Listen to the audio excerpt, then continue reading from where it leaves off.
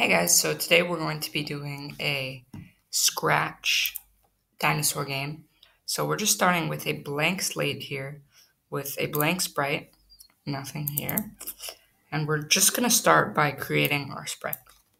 So we're going to name this player. Player. Got some capitalization issues. So for player, to create non a custom sprite, you go to costumes, and I'm gonna create my own design. So I'm gonna press shift, I'm gonna press on this square, press shift, and I'm gonna drag across my screen. And there we go, I have a square. Now I don't want it to be too big.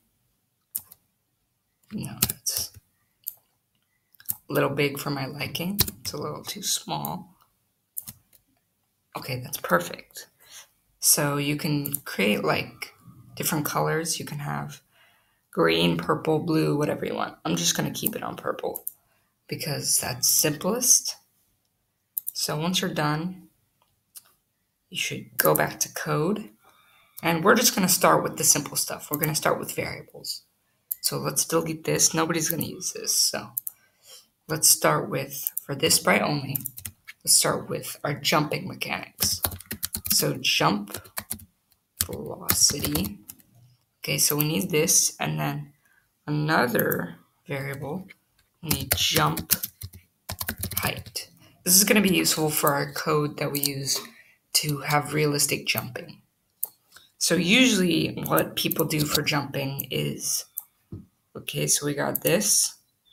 People use this. They use a repeat and then two repeats then they use go to motion, then they go change y by 10, change y by minus 10. Now this is this is kind of useful. You can use this for a simpler game, but instead of going like this, in real life, people don't just go up with and with at the same speed and then go down at the same speed. It's more realistically like you go up, you're fast, you slow down, and you come down slower, faster, faster, faster until you hit the floor. So we're gonna create that code. That can be kind of hard in Scratch, but we're gonna create that code. So before we do that, it's not very control. You can use this if you want, but I don't really like to use that because I like to have control and be able to I'd be able to well use this messaging system because messaging system can messaging systems can allow you to have before and after screens like game over and starting screens. So if you don't want that, it's fine. Just replace this with when green flag is pressed. But I'm going to start with, okay, wait, I have to start with this. Then I'm going to broadcast a message. New message. It's going to be called green, green flag. So green flag. Green flag's not going to really do anything.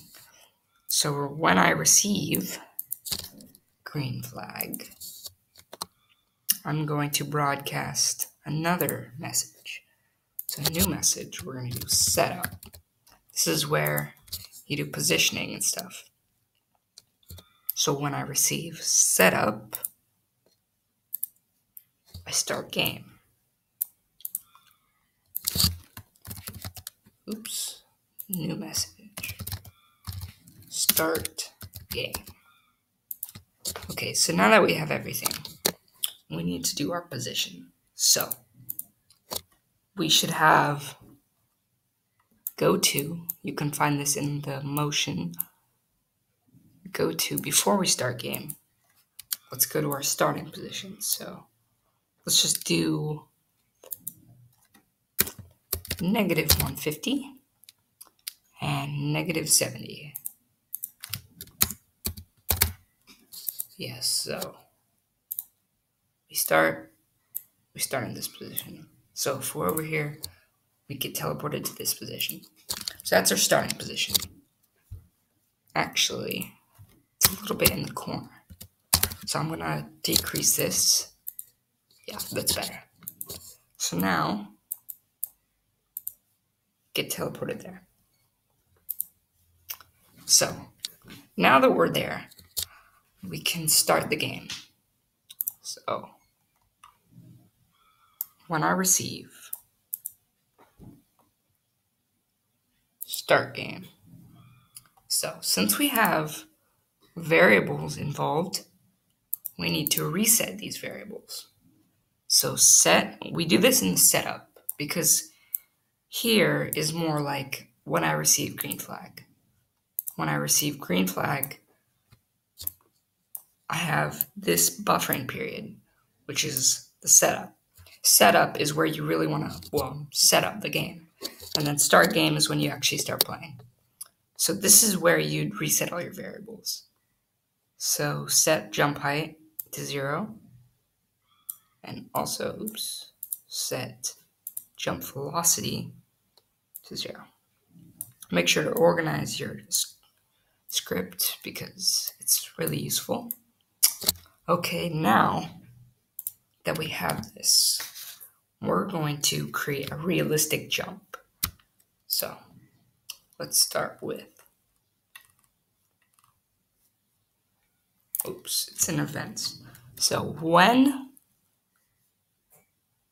space key is pressed,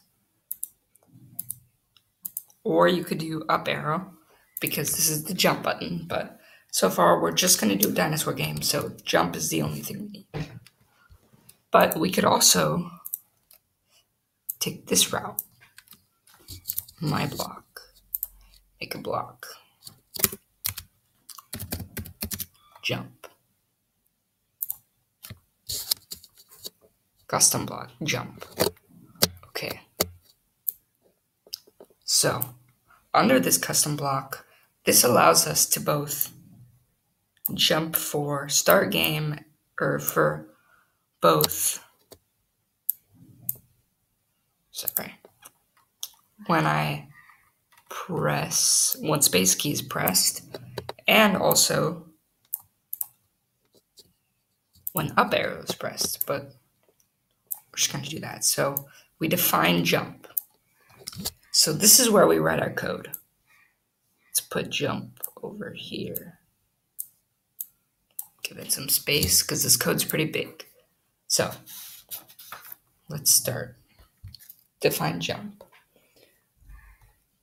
So let's go to control and let's go to forever.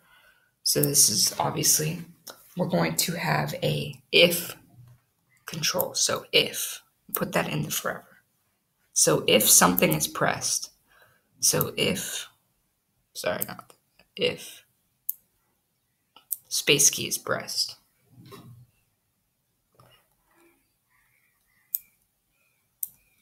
Okay. If space key is pressed, you set velocity Okay, wait. We have to first set the jump height to 15. Now, I'll explain this later, but jump height and velocity are different. Jump height is the height, and velocity is how fast you go up and down. So if you just have zero as a jump height, then you won't jump. But if you have 15 as your jump height, you'll go to 15 and then you'll have a velocity of whatever this code does. So I set my jump height to 15 and I repeat this if forever. So it's constantly checking if this key is pressed. So if it's pressed, then we set jump height or we set velocity. Sorry set velocity. What just happened there? Jump velocity to jump height. So, so far, our jump velocity is 15. Okay? And we change, and we repeat this, this next part. So go to control, and repeat until. So repeat until jump velocity. So let's go to variables. Actually, no. Equals. We go to operations. So it equals jump velocity equals zero. Okay. So we repeat this, whatever this code is, until jump velocity equals zero. Because right now jump velocity is 15. We set jump height to 15 and we set velocity to jump height. So velocity is 15. We can check this.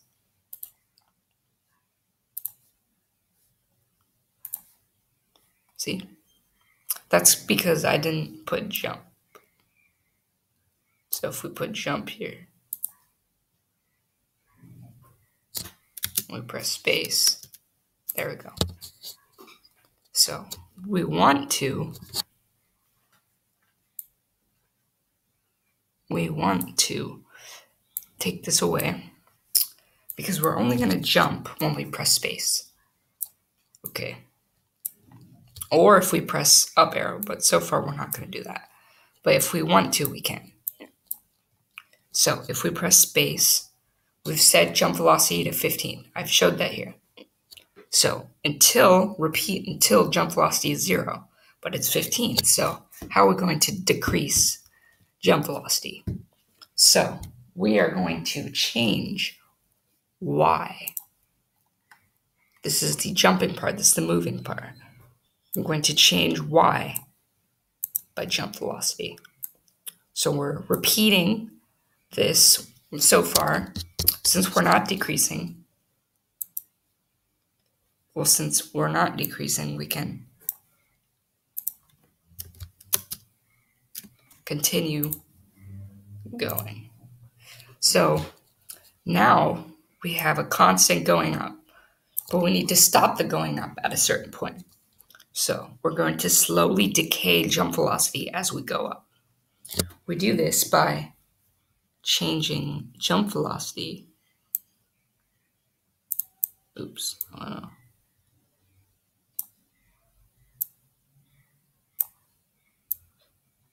Changing jump velocity by negative one.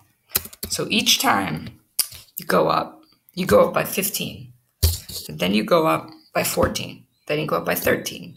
Each time you go up, the jump velocity slowly decays.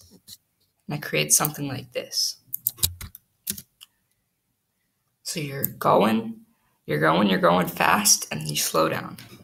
But you can't just stay here because if you are, that's a good Flappy Bird game, but it's not very good. We have to have gravity.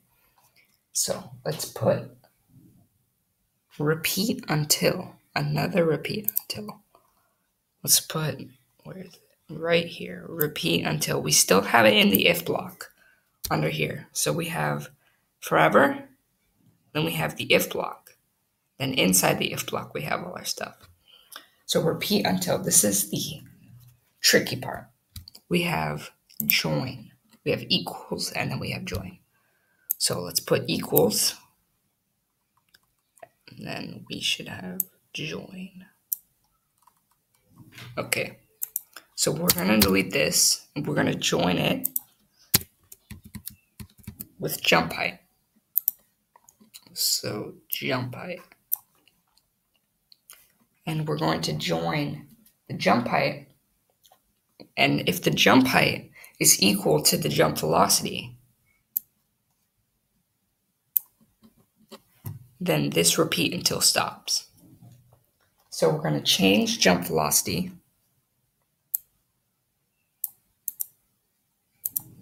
by negative 1. Okay, and then we also change y. This is the actual moving part. We change y by jump velocity.